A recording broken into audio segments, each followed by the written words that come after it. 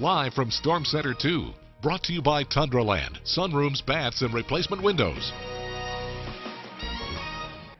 Hi everyone and welcome back. Your Storm Center 2 weather headlines are up on the screen. The first weather headline, the wintry mix chances for tomorrow. We're looking at the possibility for some ice accumulation. Right now, a glazing to maybe up to two-tenths of an inch of ice for most of the area, and that's going to lead to some dangerous travel conditions. So there is a winter storm watch for parts of northeast Wisconsin, also a winter weather advisory for southern counties. But we are going to be moving into that warming trend. I was talking about that in the forecast yesterday, so much warmer air is on the way, and I'll show you more on that. We look at your seven day in just a moment. First, though, as we take a look at the winter weather alerts, this light blue shading that we're seeing here on the map, that is a winter storm watch, and we're focusing on the ice accumulation. That's the reason for this winter storm watch for majority of the area. Again, anywhere from a glazing to two-tenths of an inch, and it doesn't take much ice to create dangerous travel conditions. So that's what we're really focusing on for tomorrow's forecast and maybe even into early Tuesday morning. Now, as far as what we can expect as you walk out the door right now, 21 in Green Bay, 19 in Appleton, 24 in Shawano,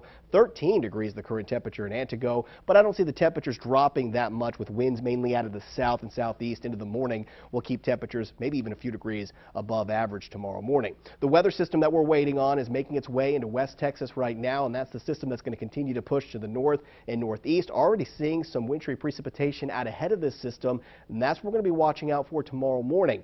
It looks like most of this is going to start out as some light snow, and then we're going to get a quick change over to the wintry mix. What mix are we looking at? Sleet and freezing rain. Those are the two weather variables that we have to focus on, and it looks like the heaviest precipitation will be Monday night. So as far as traveling tomorrow, it looks like your evening commute could be hit the hardest with some dangerous travel conditions. We're expecting slippery roads, and there could also be with ice accumulation, you get down trees, and that could lead to some down power lines. So power outages will be possible as well. So that's why we're going to be weather aware for tomorrow. I want to time things out with the precipitation chances, but I also want to show you the temperature forecast throughout the day tomorrow. This is at noon, and you can see down into our southern counties, Fond du Lac County, Sheboygan County, we're seeing temperatures right at freezing. That wintry mix making its way into that part of the region, then expanding further north and northeast. Temperatures are going to be so close to that freezing mark. Yes, I think some areas will deal with mostly a rain chance, especially the further south you go, but the ground is already very cold. So any precipitation that we get will be freezing once it makes contact with the ground. So there will be some likely ice accumulation for the entire area. But Pinpoint Predictor is keeping temperatures above that freezing mark throughout a majority of the area that's in the winter storm watch. So that's why it's going to be a very tricky forecast into Tuesday morning. It looks like more of a rain chance into early Tuesday as temperatures continue to stay anywhere from about 33 to 36 degrees. How much ice could we see? Again, a glazing to close to two tenths of an inch with the highest forecast coming in Lakewood where it's going to be over a quarter of an inch as far as the forecast.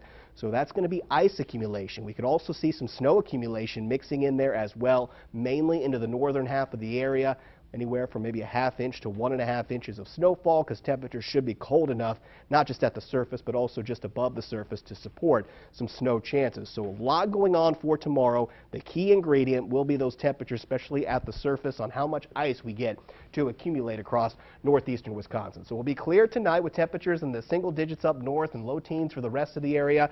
I think we'll see some snow, light to moderate snow early in the morning, and then notice what happens into the afternoon. That's when the ice accumulation will start to place. Again, we have the winter storm watch throughout a majority of the area for tomorrow. Temperatures will be warming nicely, though. If you want some much warmer air to melt the snow and melt the ice, your wish is granted as those temperatures will get into the low 40s by Friday, mid to upper 40s with just rain chances next weekend. All right.